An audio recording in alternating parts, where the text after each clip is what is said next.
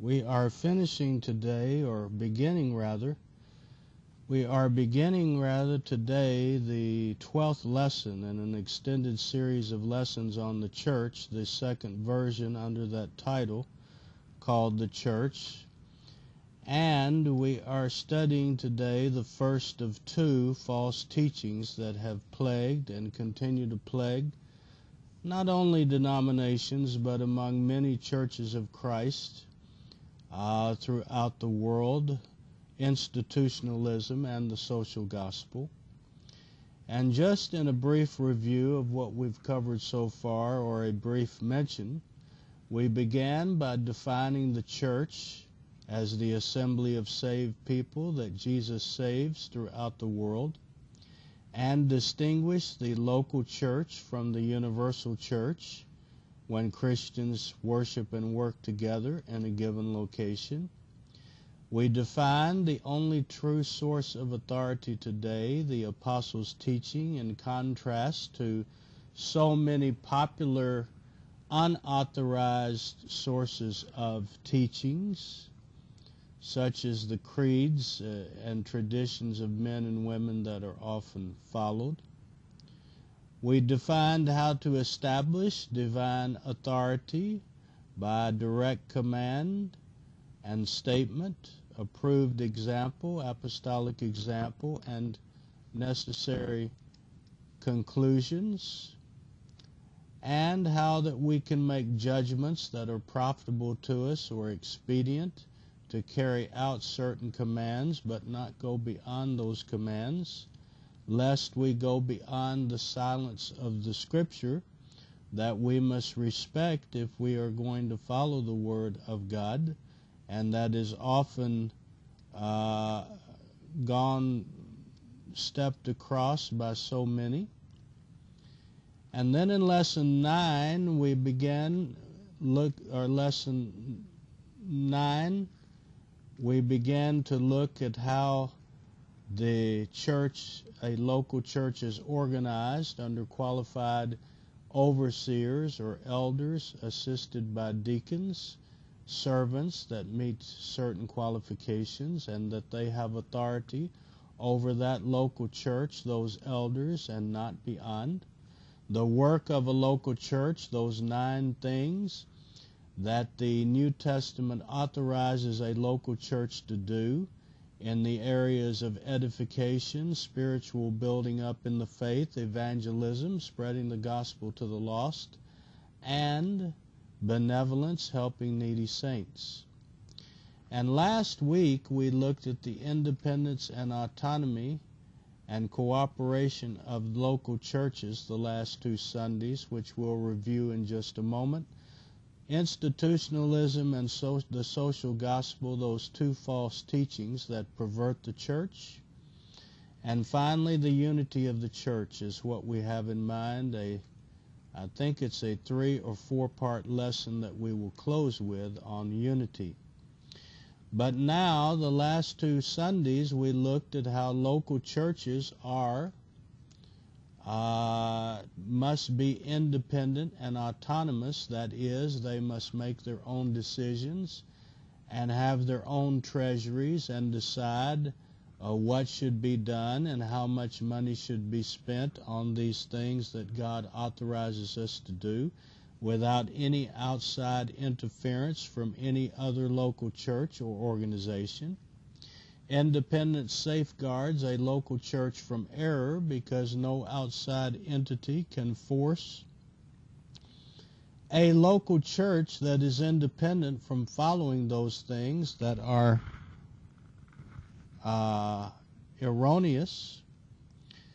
Is Acts 15 a proof of centralization where local churches came together to decide everything for all local churches? No. It was an apostolic meeting and with the church in Jerusalem where false teachers had gone out teaching about keeping the law of Moses uh, and being circumcised to be saved to the Gentiles and the apostles confirmed what they had always taught and disavowed the false teachers and sent letter, letters to those affected churches saying so. Guided by the Holy Spirit. And we defined unauthorized and authorized cooperation, where churches can cooperate without compromising their independence and autonomy uh, rather than centralization. And we looked at examples of unauthorized and authorized cooperation. The lesson today and next Sunday on institutionalism really goes along and, and repeats many things that are in the previous lesson, but it gets to the underlying error that causes all the problems with the cooperation schemes that so many, even among churches of Christ, seem to be deceived by and follow. Among churches of Christ, institutionalism is a common error that has perverted both the local church organization and the work of a local church. It is something that denominations have long practiced, and churches of Christ really just are mimicking or imitating uh, denominations. The problem with institutionalism, which we'll try to define in just a moment, the problem is that it's not widely understood and is also hard to detect and abandon because many people feel like it does so much good, these things that are done by this uh, method of action and organization that we call institutionalism. But sadly, also, even among those who claim to oppose this error, which we claim to oppose, and which I have always tried to oppose all of my years, uh, now over 40, uh, of preaching the gospel, I have tried to oppose this uh, error along with others. But there is now a trend among many churches of Christ who claim to oppose institutionalism that they are hesitant to teach against it. They don't want to teach against it. Although they don't support institutions directly financially uh, from their treasuries, they still don't want to teach against it because maybe they are afraid of offending people or whatever it may be or see that it's irrelevant. But the fact is, if we don't teach against this error or other errors, then people are ignorant of those errors, and the chances are they will begin to duplicate and fall into those errors. Local churches have shown dependence I don't know where we are on the slides, but I'm back at the point where local churches have shown dependence on them, these institutions, and we'll get back to our point. I don't know. They have shown uh, the dependence on the institutions as trained preachers and to provide their teaching materials. And this is among churches of Christ that claim to oppose institutions. All of this will become a little bit clearer when we define institutionalism, which we'll try to do in just a moment. The local church is sufficient it has been designed by God who created the universe and humanity and all things. And the way a local church is to be organized is sufficient, completely uh, equipped, designed to do the work that God has given it to do without any need of institutions, without any social institutions whatsoever. God does not need our human wisdom to make the church work better, which is the whole problem in many cases where we we think we know how to help God do something better, which shows more of a, a mix up about us than it does about God. Institutions are not needed also to unify the church. We have the apostles' teaching for that basis of being unified.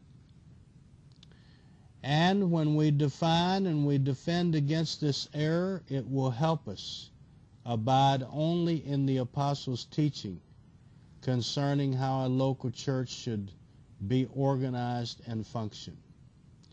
But before we speak any more about institutionalism, let's seek to define it. What is institutionalism? I don't know of any accepted formal definition, but there is a description that I've tried to cobble together from all that I can understand about the concept. And if you want to define it, uh, this is my attempt at defining the idea of institutionalism. The belief that the universal church is a religious organization. That's where the whole problem is. When we know that the universal church is a relationship, is the relationship that individuals have with the Lord Jesus by faith, but that's the problem. The, the belief that the universal, that's not the problem. The problem is going away from that understanding. The belief that the universal church is a religious organization composed of local churches that combine together to accomplish their collective spiritual social work aided by social institutions that they depend on and or support. Now that's a mouthful, but it simply means that the church is viewed as an organization of local churches that must work through centralized institutions and sometimes other local churches uh, that they depend upon and that they support. That is, financially support. This error can be believed and practiced completely or partially. And many times, brethren who don't even provide money to social institutions uh, have an institutional concept of the church in their thinking that we need to get rid of because it's it's it's not even scriptural to think of the Lord's church as an institutional organization of local churches. So that is the idea of institutionalism, thinking the local thinking the Lord's church, the universal church is an organization of local churches that functions together working through social institutions. Or we could have added other local churches centralizing the work and organization of these churches. That is basically the idea of institutionalism. So what do we have? We have corrupt leaders that corrupt local church organization. This is how all of this gets started. Any type of error, especially organizational error related to a local church, it happens that you have leaders in local churches that lead those churches to accept institutionalism as a way of, of doing uh, authorized church work as they view it, and the members go along with it. Instead of correcting their leaders, they go along with it for trusting in those leaders or because that meets their own desires as well to be like other people, other uh, religious groups who, where it is so popular. Acts 20 and verse 28, the Apostle Paul warned that uh, the Ephesian elders that they were not immune to following error and that they needed to watch themselves and their teaching lest they become corrupt and mislead uh, their members into uh, error. Acts 20, he says, Be on guard for yourselves and for all the flock among which the Holy Spirit has made you overseers to shepherd the church of God, which he purchased with his own blood. I know that after my departure savage wolves will come in among you, not sparing the flock. And from among your own selves men will arise, speaking perverse things to draw away the disciples after them. Therefore be on the alert, remembering that night and day for a period of three years I did not cease to admonish each one of you with tears. And now I commend you to God and to the word of his grace, which is able to build you up and to give you the inheritance among all those who are sanctified.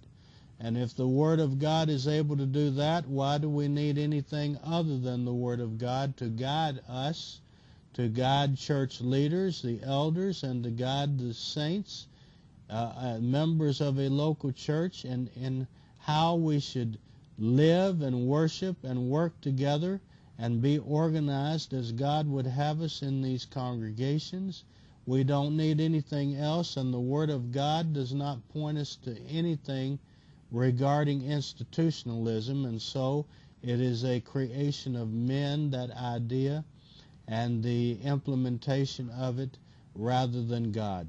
Corrupt leaders corrupt local churches, they corrupt local church organization when they exercise authority beyond the local church or when they submit to authority beyond the local church, that is human authority to institutions or other local churches that they turn their decision making over to those churches and their funds so that they can decide what work and how much is going to be done.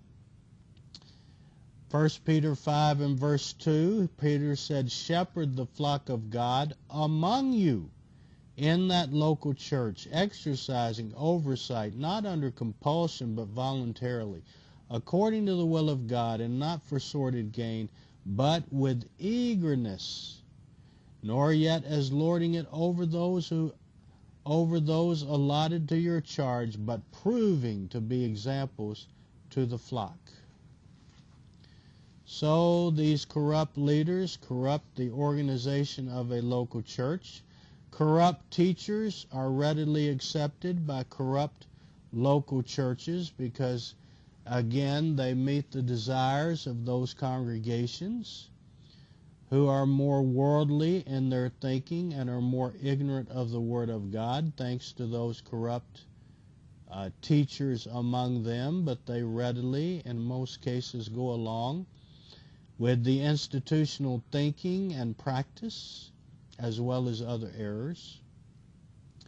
2 Timothy 4 and verse 1, 2 Timothy 4 1, the Apostle Paul said to Timothy, I solemnly charge you in the presence of God and of Christ Jesus, who is to judge the living and the dead, and by his appearing and his kingdom. Preach the word. Be ready in season and out of season reprove, rebuke, exhort with great patience, that is, long suffering, and instruction. That is, be faithful to teaching the word, correcting people, and encouraging people. And the reason he says in verse 3 For the time will come when they will not endure sound doctrine, but wanting to have their ears tickled, they will accumulate for their they will accumulate for themselves teachers in accordance to their own desires. In other words, they'll find people who tell them what they want to hear, including the institutional error, where they can be a part of big works and programs that get big glory and big results that are governed by wise individuals and will turn away their ears from the truth and will turn aside to myths. But you be sober in all things, endure hardship, do the work of an evangelist, fulfill your ministry. And so Paul makes it clear that these corrupt teachers will be accepted by the corrupt congregations, thus ignorance of God's word will spread, and error will be accepted, and destruction comes upon both teachers and followers. It happened in the days of Hosea in Hosea 4 and verse 6. Hosea 4 and verse 6 My people are destroyed for lack of knowledge.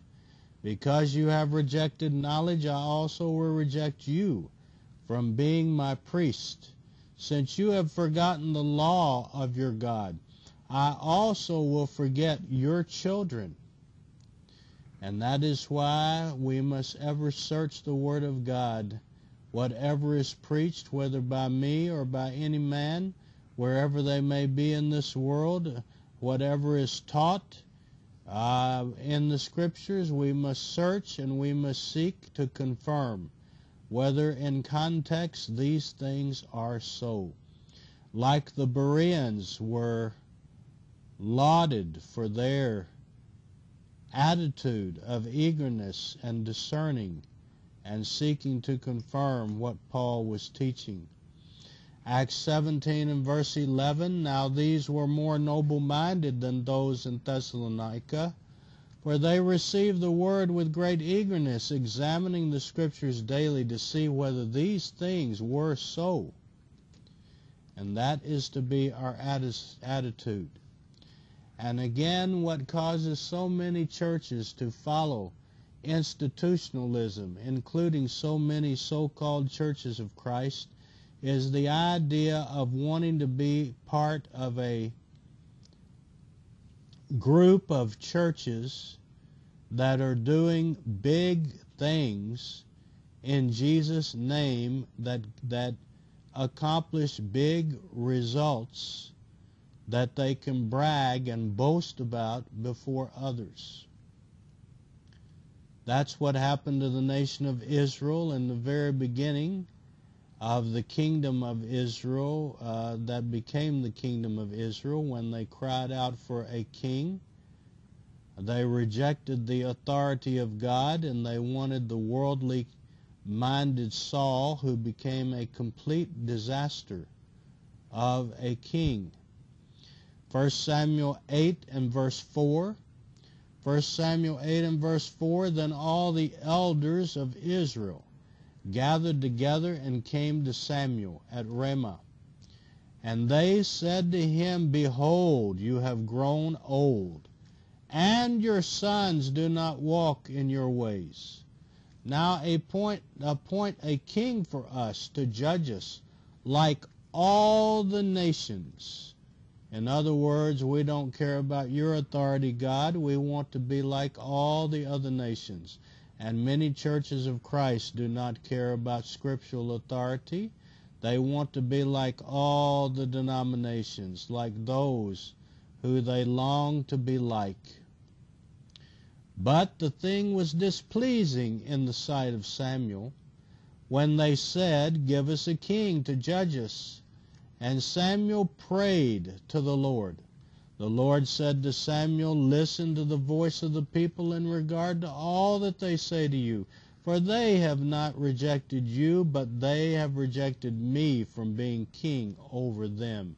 And what a disaster came uh, to the nation of Israel because of it. And a disaster has come to many churches of Christ that have long ago rejected the old paths in the apostles' teaching for the trendy, sinful uh, programs uh, that are baked over ideas that have long been introduced by the denominations long ago.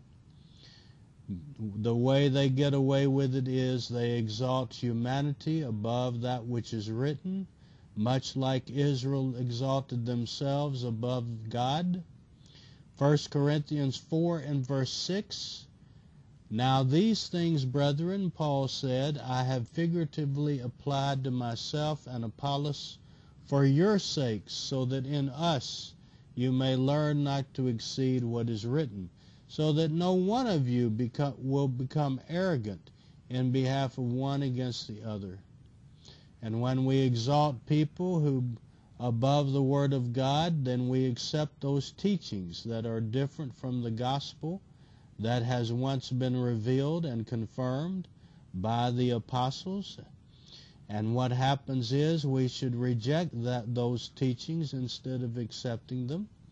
Galatians 1 and verse 8, Paul said, But even if we or an angel from heaven should preach to you a gospel contrary to what we have preached to you, he is to be exalted. No, he is to be accursed. He is to be accursed. So when we look at how institutionalism spreads or any type of error, we find corrupt leaders that corrupt church organization. In this case, uh, we find errors of corrupt teachers readily accepted by corrupt local churches desire of many local churches to be of denominations, and that's where it all begins to spread. Now we want to spend the last few minutes of our lessons looking at examples of institutionalism. And uh, we will repeat one that we mentioned that is so classic uh, in the last lesson and then bring up another one that we have not mentioned. Believing the Universal Church is an organization of local churches. That leads to the idea of centralized work. That is, that these units of the Lord's church should work together in harmony with one another. It only makes sense if that's the way we view uh, the Lord's church as a, an organization of local churches. If local churches are to work together as one universal church, then there must be centralized oversight and treasury. That is, we've got to turn decision making over and treasury over uh, to an entity that has a th- authority over local churches. We have to do that if we're going to follow the institutional idea. The two primary ways that churches of Christ have centralized their work are through social institutions and sponsoring churches. We'll get to the social institutions in just a moment as examples, and then we'll leave the sponsoring churches uh, till next Sunday, the Lord willing, to finish the lesson out. But social institutions, they are third-party organizations. They are funded by local churches and individuals to oversee and do work in evangelism, benevolence, and edification. They're organizations like Bible colleges, and benevolent organizations. Their purposes sound so good to teach the Bible, to help the poor, that it's almost shocking to bring up the idea that they are not authorized to be uh, as they are and to be funded and to oversee the work of many local churches. The sponsoring churches, on the other hand, are local churches. And we could have put local church in quotes there, local in quotes, that assume oversight and control over a project that is funded by other local churches. So many who object to the idea of social institutions say, well, if we let the local church take oversight over many local churches and decide how the work of many local churches is to be done, then that would be okay because no social institution is involved. But the, the same mechanism, the same methods are involved. That is, centralization of church oversight and treasury. The same error uh, is involved except uh, the, the local church uh, expands its authority and treasury, its oversight and treasury, and thus becomes like a social institution. Now, in the final part of our lesson, just two brief examples. One we went over last week, but it's such a classic example that we mention it again. The American Christian Missionary Society, 1849, led by Alexander Campbell. Uh, he created that organization funded by local churches to decide who and where the gospel should be preached in the United States, located Cincinnati, Ohio.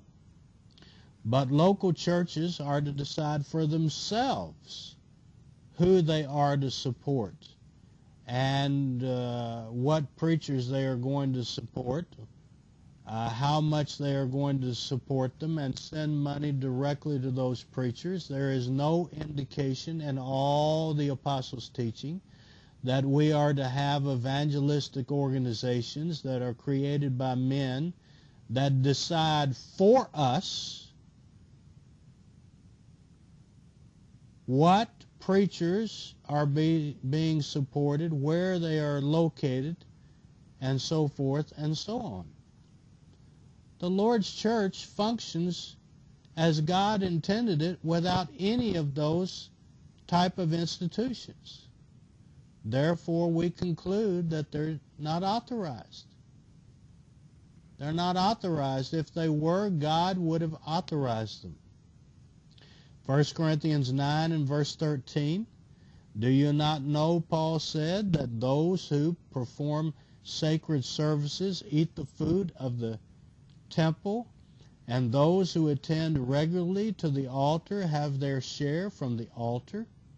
So also the Lord directed those who proclaim the gospel to get their living from the gospel. That is, men can be supported to preach the gospel, to spread the gospel to the lost, and to edify the saved. 2 Corinthians 11 and verse 8 again, Paul said, I robbed other churches to take wages from them to serve you. And when I was present with you and was in need, I was not a burden to anyone.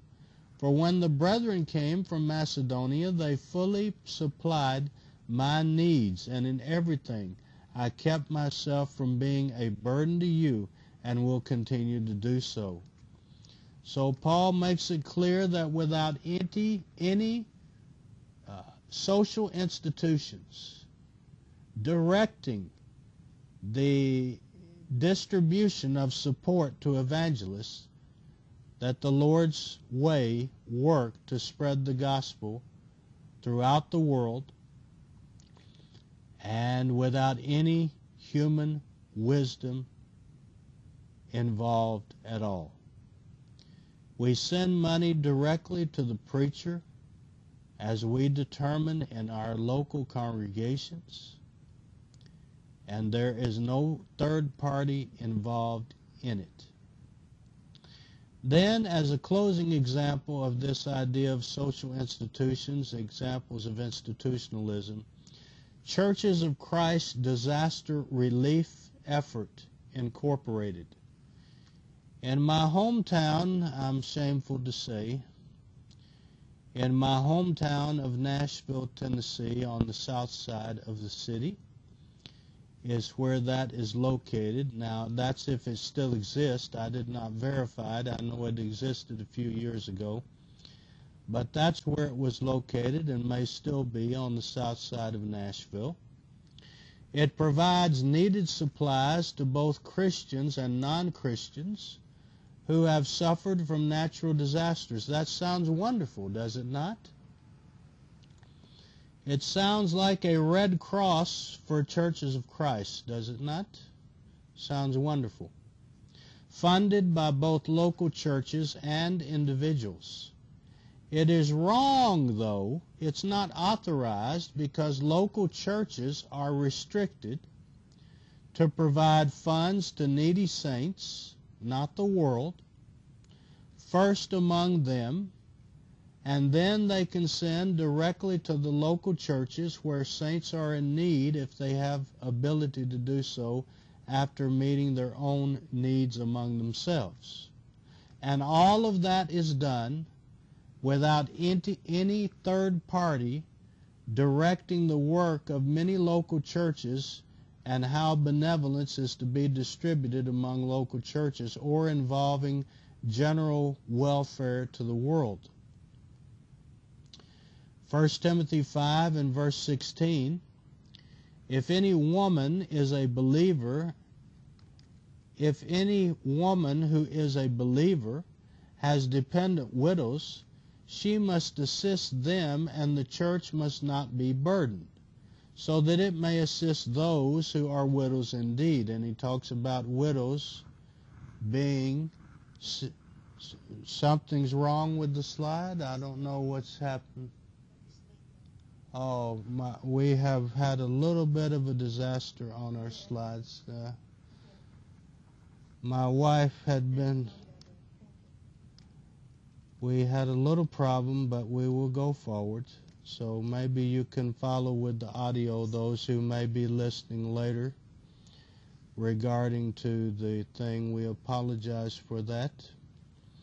1 Timothy 5 and verse 16, if any woman is a believer, who is a believer has dependent widows, she must assist them and the church must not be burdened, so that it may assist those who are widows indeed, those he talks about over 60 who have no family to care for them, so forth and so on.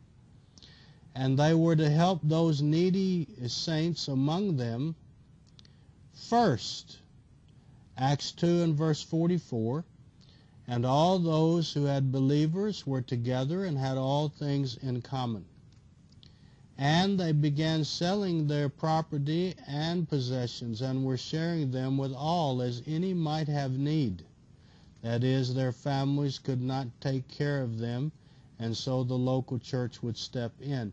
Then, as they were able to meet the needs in a local congregation among the saints there, then they could send directly to those churches that had saints in need in various locations, such as Macedonia and Achaia in Greece, sending to the churches in, in sending to the church in Jerusalem that had needy saints. Romans 15 and verse 25. Romans 15:25 But now I am going to Jerusalem serving the saints for Macedonia and Achaia have been pleased to make a contribution for the poor among the saints in Jerusalem. So the point is all of that is done without any social institution third parties involved no matter how good the intentions are. Uh, Christians as individuals, somebody says, well, how can we help the poor among the world in general? Well, that is up to individual Christians, not to a local congregation. It is up to individual Christians to do that as we have the ability and opportunity. Galatians 6 and verse 9. Let us not lose heart in doing good, for in due time we will reap if we do not grow weary. So then, while we have opportunity, let us do good to all people, especially those who are of the household of the faith. Then, that is what we are to do regarding helping those in the world. Now, what have we learned in our lesson?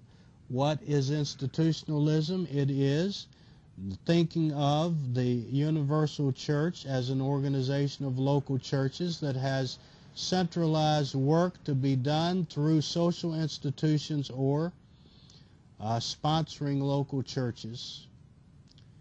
And it is that problem that has been accepted, that error by so many that has been accepted by so many in so many churches of Christ throughout the world. How does institutionalism spread? It spreads by preachers and elders accepting it and members accepting it, wanting to be popular, and that's how it spreads. Examples, we looked at two social institutions. one a evangelistic organization and another a benevolent organization, more modern example.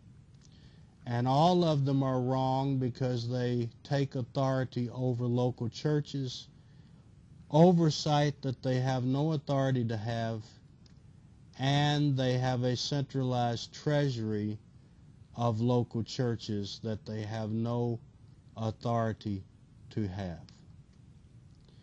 That is our lesson today. We know it was a little bit technical maybe and somewhat repetitive, but we had to begin to get to the underlying error that causes much of the problems. The, and we'll get to one in the future again, social, the social gospel.